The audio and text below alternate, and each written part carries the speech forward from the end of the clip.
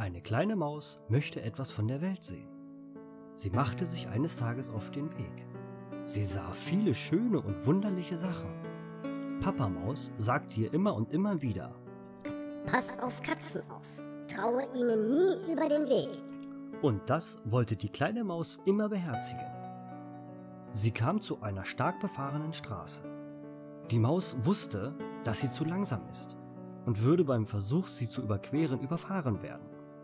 Da sah sie einen dicken Kater am Straßenrand. Er lümmelte sich in der Sonne. Die Maus ging trotz der Warnungen ihres Vaters zum Kater. Die Maus hatte noch nie einen aus der Nähe gesehen.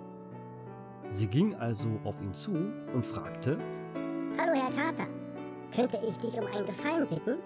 der dicke Kater meinte, Aber natürlich, mein kleiner Freund. Wärst du vielleicht so nett, mich über die Straße zu bringen? Ich bin bestimmt zu langsam und werde überfahren. Na klar, spring auf meinen Rücken.